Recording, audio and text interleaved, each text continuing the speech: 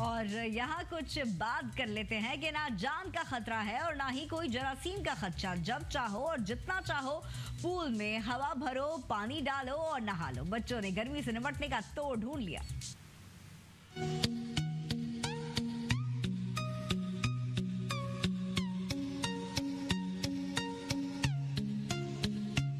कराची वालों को सूरज अपना तेवर दिखाने लगा है और जून जुलाई की आमद से कबल ही शेर काज शदीद गर्मी की लपेट में जा घिरा है, जिसकी वजह से सिर्फ़ बड़े ही नहीं, बल्कि बच्चे भी बेहाल हो गए हैं। बच्चों ने गर्मी से निमटने का तोड़ भी ढूंढ निकाला है। जी हाँ ये है बच्चों का निहायत खूबसूरत पूल, जिसे आप बच्चों का स्विमिंग पूल भी कह सकते हो, जिसमें जब चाहो हवा भरो, पानी डालो और नहा लो। इसमें ना तो जान का खतरा लाक है और ना तो कोई जरासीम का खदशा, बच्चा हो या बड़ा बूढ़ा हो या जवान सभी इसमें स्विमिंग पूल का मज़ा ले सकते हैं। जैसा कि आप देख सकते हो इस बच्चे को जो छमाछम पानी उड़ा रहा है और ठंडे ठंडे पानी के मज़े ले रहा है और बगैर किसी डर के नहा भी रहा है। इस मौके पर वालदेन का कहना था कि अगर हम बच्चों को स्विमिंग पूल की तरफ़ लेके जाए।